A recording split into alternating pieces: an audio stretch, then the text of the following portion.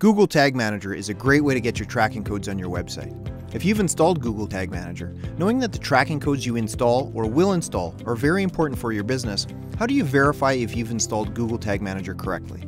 In this video, I'll show you how to use Tag Assistant by Google to do just that.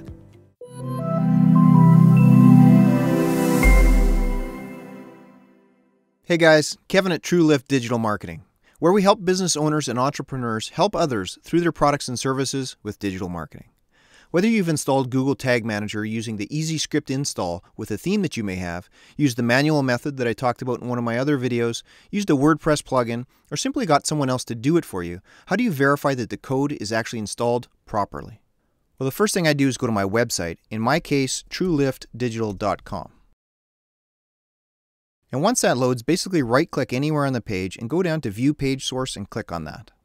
This is the code for your website, so we just quickly need to verify that the Google Tag Manager code shows up here. As we can see at the top here, this is the head section, and Google Tag Manager does a great job of identifying which is their code, which is right here. So we verified that the head portion of the Google Tag Manager code is in fact there. We just need to scroll down, and actually rather than do that, I'm just going to hit Command F or Control F, and then just do a search for the body tag, which is right here, and we can see that the Google Tag Manager script or code for the body section is also there. Okay, so we've identified that the head and body tags are in fact on the website, so we're good there, but now we just need to verify that the code is actually working properly. To do that, we'll use a tool from Google called Tag Assistant. Now this is an extension that is only available to my knowledge using the Chrome browser, and to get to that we need to go to the Chrome store. So I'm just going to go up to the top bar in Google and do a search for Chrome Web Store. Alternatively, you can just go to chrome.google.com forward slash web store. I'm just going to click on that first option. And then inside here, just make sure that you're in an extensions. And in the search portion here, I'm just going to put tag assistant. Hit enter. And this first option is the one that we want. I already have it installed, so it's asking me for a rating. For you, it will have the option to add to Chrome. But I'm just going to click on the option where you can find more information on the extension if you want, but all you need to do is just hit the Add to Chrome button and then follow the prompts that come up. Now since I already have the extension installed on my browser, I'm just going to X out of this tab right here. Once you have the extension installed, it will show up in the top of your browser like this here. If you then click on that, you will go inside the extension. Now by default, since it takes memory to have the Tag Assistant enabled on every tab of your browser, the functionality is turned off, but it needs to be turned on. You can have it turned on all the time or just for specific websites, which I'll show you in just a second. But for now, let's just click on the Enable button below. And then just refresh the page. And then just click on the Tag Assistant one more time. Now I've already added some other tags through Google Tag Manager, and as you can see here, I have two tags, Google Tag Manager and the Google Analytics tag. If you haven't added any tags to Google Tag Manager yet, Google Tag Manager will be the only tag visible here for you. I'll just point out that I have other tags on my website, including Facebook tags, which you can see with this Facebook Pixel Helper extension here, which I'll talk about in another video. But this Tag Assistant only shows Google tags. For the purpose of this video, I just wanted to walk you through the verification for Google Tag Manager, as I will be installing all of my other tags or tracking codes on my site through Google Tag Manager. If you do it that way as well, then you would verify your individual tags that you put inside of Google Tag Manager when you are logged into Google Tag Manager using the preview and debug mode. Again, a topic for another video. Google Tag Assistant has a color system.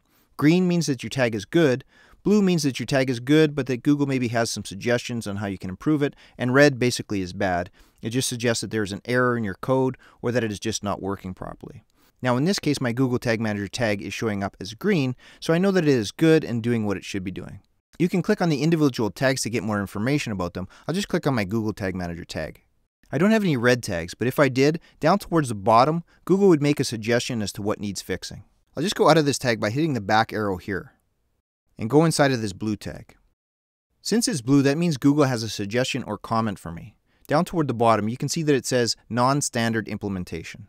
If you hover over that and then go to the question mark and click on that, it will give you more detail on why this may be a problem. I'm not going to do that because in this case I know why it is saying this. And that is because I did not install the Google Analytics tag directly on my site. I put the tag inside of Google Tag Manager, which is installed on my site, which is perfectly fine, so I'm not worried about that. Just so you know, since I'm already aware of that and it is not an issue to me, I can just hover over the suggestion and this little X shows up which I can click on to hide that message so that I don't have to keep seeing it, and I can also do the same from the main screen here. If you hide that tag, but you later want it back, if you click on this icon up here, it will bring back what you hide but in gray. If you no longer wish to hide it, where it used to have an X, it now has a plus sign. If you click on that, it will unhide the tag. I've already verified when logging into Google Tag Manager through the preview and debug mode that the Google Analytics tag is firing properly. But if this tag was red, meaning that there is a problem, I could do the same thing and hover over the suggestion and then click on the question mark and Google would help me correct the problem. Alternatively, you can always go to the three dots at the top and go to either Visit Google Plus Community and click on that, or click on Need Help link to find out more information on Tag Assistant or other specific problems you have. There is a lot more to Tag Assistant than I have discussed here. You can record yourself taking actions on your website to help diagnose where your problems may exist. You can click on the star icon at the top to favorite specific sites that you want Tag Assistant to always be on for. You can click on the three dots to have Tag Assistant always on for all tabs at all times if you want by turning the auto validation on by clicking on it. But for the purposes of this video, that's all that I wanted to show you. As I mentioned, for me, I will be putting all of my tracking codes on my site through Google Tag Manager, and so for those codes, I can just verify them using the preview and debug mode inside of Google Tag Manager. I hope you found this video informative. If this is your first time here and you're interested in more videos like this, hit the subscribe button below this video, and if you're interested in learning more about how to install your tracking codes using Google Tag Manager, either click on the link on your screen right now, in the description area below this video, or check out our channel. Thanks for watching, take care.